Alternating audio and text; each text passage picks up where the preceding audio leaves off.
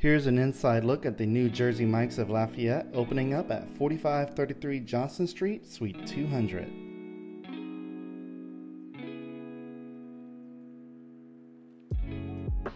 Founded in Point Pleasant, New Jersey, you can really pick up on the beachy vibes inside.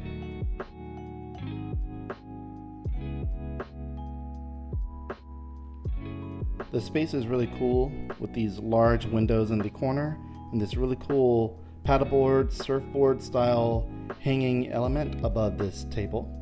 This is going to be a popular table, I'm sure. So, fun fact there is nobody by the name of Mike in the founding story of Jersey Mike's. All of Jersey Mike's meats and cheeses are sliced fresh to order for that sub above.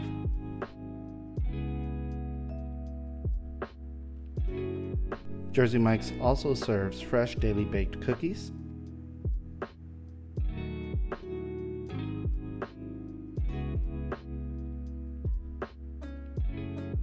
And above this area is the menu. And as you can see, there is tons of items. A lot of cheesesteaks with chicken, beef, there's even meatless options and tons of others, turkeys and other stuff like that. This is their meat and cheese case where they serve and slice premium meats and cheeses. And apparently, it's not a real Jersey Mike sub if it doesn't have the juice, which is red wine vinegar and olive oil. And this wall just shows you the founding city of New Jersey, Point Pleasant, New Jersey. And this is the drink station pretty standard, but they have tons of options and even has some really good root beer by Stubborn. And of course, they have sweet tea, unsweet tea, because that is my favorite.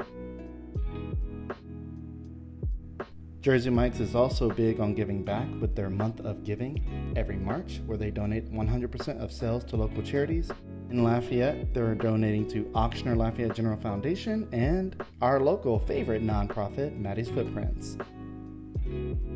And going outside in the Forum Center, you'll see that there's still some construction going on, but Jersey Mike's has a pickup window. You cannot order at the window, but you can call ahead or order ahead in the app and pick it up at their window. Really cool. Jersey Mike's of Lafayette is opening on January 31st, which is a Wednesday. So if you're out there, check them out.